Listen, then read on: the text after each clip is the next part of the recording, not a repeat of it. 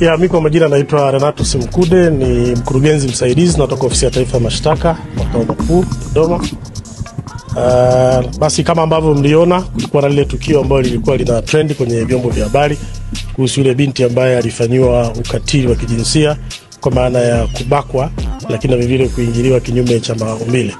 Sasa kama ilivyo mfumo wetu wa kisheria hapa nchini kwa mujibu wa katiba, lakini na mamlaka aliyonayo mkurugenzi wa mashtaka chini ya ibara ya 59 ya katiba yetu ya Jamhuri ya Muungano wa Tanzania, hatua zilichukuliwa, shauri limepelelezwa na eh, kama ambavyo vilipata taarifa awali kutoka kwenye vyombo chunguzi kwamba watuhumiwa wanne eh, walitiwa nguvuni ambao sasa ni washtakiwa na shauri lilipelelezwa. Kwa hiyo serikali ilichukua hatua hizo na leo hatimaye hapa eh, eh, katika mahakama ya Dodoma hakimu mkazi wameweza kufikishwa mahakamani na wanakabiliwa na mashtaka makubwa mawili.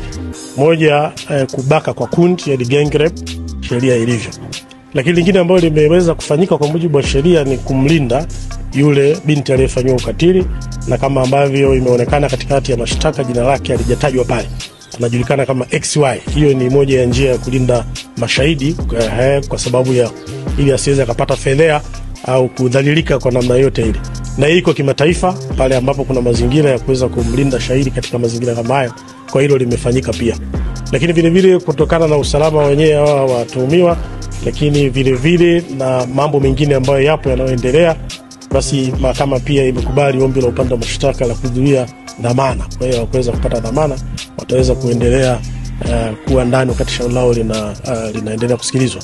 Na kutokana na upekee wa shauri hili, basi limepangwa litaendelea kusikilizwa mfululizo uh, kuanzia kesho mpaka Ijumaa, yani kesho tarehe ishirini mpaka Ijumaa, ili basi haki iweze kutendeka kwa wakati, lakini vilevile kuhakikisha kwamba kila jambo linaweza kuzingatiwa.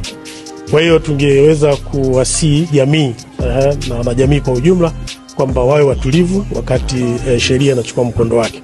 Uzuri wetu nchi yetu sisi inafata mfumo wa sheria. Kwa hiyo inapotokea matatizo kama haya, kuna haki ya washtakiwa, lakini na kuna haki ya wale ambao ni wahanga.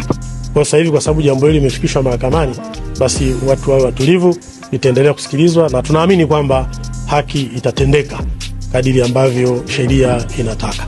Kwa hayo ndio ambayo yameweza kujiri hapa mahakamani leo, na kwa maana hiyo e, sisi ofisi ya taifa ya mashtaka kama chombo cha serikali katika uendeshaji wa mashtaka, sio hili tu, mashtaka mengine tutahakikisha kwamba haki inatendeka kuzingatia ile misingi ya kutenda haki, lakini vilevile kutotumia eh, um, e, mlengo wa sheria kufanya vinginevyo, lakini vilevile na maslahi ya umma ikiwemo katika shauri hili na mashauri mengine mbalimbali. Mtu mmoja alikuwa anataja katika ile video clip